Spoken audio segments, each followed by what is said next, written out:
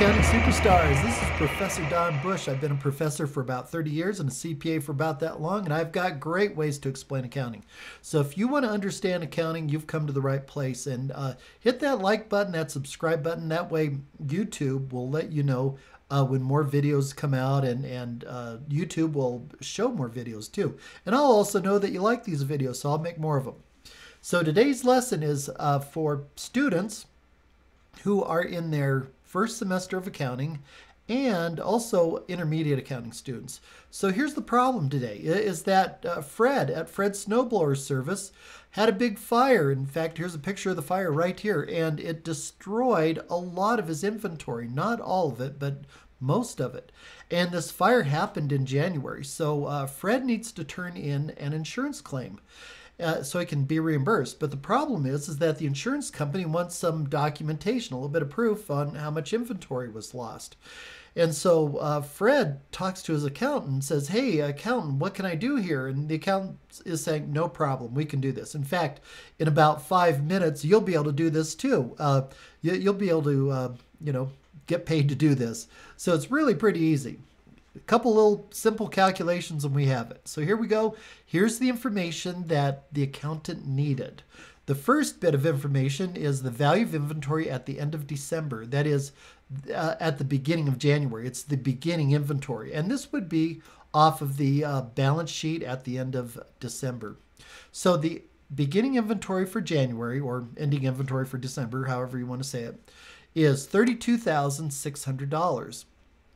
Now, the accountant also needs the amount of inventory purchases for the month of January. And fortunately, Fred is smart enough to keep his inventory records and his accounting records separate from his inventory. And, and not all uh, business owners are that smart. I'll tell you what, uh, I've, I've seen and heard of cases where uh, business people have kept their inventory records and their accounting records inside their business location and they didn't make backup copies or anything. And so when they had a fire or a theft, they, they lost everything. It, it's really bad. So if you're a smart business person, make sure you make backup copies of your accounting records and also keep copies off the premises too. So, all right, so we've got the amount of inventory purchases for the month of January, 59,500. And that was up until the uh, time of the fire.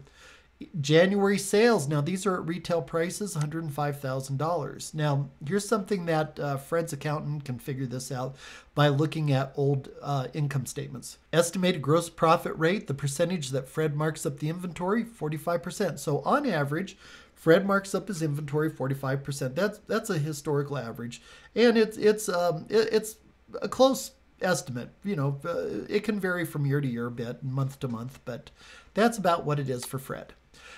Now, the amount of inventory not damaged by the fire was $6,000. So the, the fire didn't burn all the inventory. Some of the inventory is good and sellable, uh, but it's only 6,000. So what we've got to do is we've got to figure out how much of the inventory was destroyed.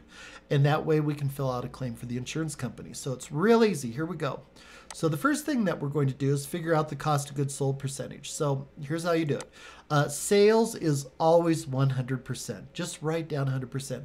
Whenever you're trying to figure out percentages, it's really safe to put down 100% for sales, always.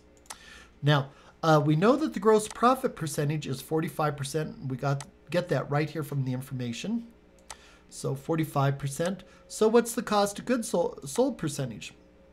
Easy. All you do is say, okay, 100% minus something is 45%. So simple math, that ought to be 55%. There we go. So what we'll do is we'll take these percentages and we're going to drop them down here in the next box because we need to know the dollar amounts. All right, so we're just going to take those percentages from right up above, drop them right down here. Now let's uh, put in the amount of sales uh, up until the time of the fire. So January sales up until the time of the fire was 105,000. So there we go, 105,000. Now we need to figure out the dollar amount of cost of goods sold. Easy, because we've got the percentage. So 105,000 times 55%, and you've got your cost of goods sold. And that's the key right there. And since we're at it, we can figure out the gross profit too. The gross profit would, all we'd have to do is either subtract or 105,000 times 45%, whatever, whatever you want to do. So there you go. 47,250. Coming down to the next little section, which is also pretty easy. We've got the, uh, what we're going to do is we're going to try to solve for the ending inventory. So what I'm going to do is I'm going to split the screen so we can easily see what is up above here. What I have is I've got the original data up here in above the split and I've got where we're working down below the split. So beginning inventory at the beginning of January is 32,600. So all you do is drop that number right here in this slot. Purchases, purchases, uh, the amount of inventory purchases for the month of January up until the time of the uh, fire was 59,500, just drop it into place. So what we'll do is we'll get a little subtotal. And this subtotal is called goods available for sale. And what we'll do is we'll subtract away what we sold up until the fire. So we sold 57,750. I get that number from right up above. We figured it out just a minute ago. So let's drop that number right into here and we'll subtract that because if we have $92,100 of inventory available to sell and we actually did sell 57,750, then whatever's left over ought to be our ending inventory. Now this 34,350, that would be our ending inventory if no fire happened. But of course the fire burned up much of this. And so we'll go down to the last little section here. And here's what we do. Estimated ending inventory before the fire, well, let's just drop that number down, 34,350. Let's put that in there minus the inventory not damaged in the fire. And that we can get from the original information. Here it is, $6,000.